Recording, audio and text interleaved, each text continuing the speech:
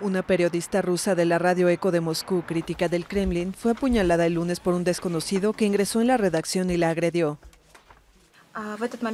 Yo estaba en la oficina con Tatiana Falbengauer. Primero nadie entendió quién era el hombre, luego vi el forcejeo. Los guardias de nuestro piso entraron corriendo, lo detuvieron de inmediato. La conductora recibió una puñalada en el cuello, por lo que fue hospitalizada.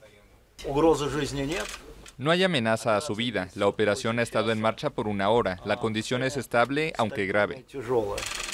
El Comité de Investigación ruso anunció una indagación por tentativa de homicidio contra Boris Gritz, de 48 años, un ciudadano ruso-israelí nacido en Abjasia que será sometido a examen psiquiátrico.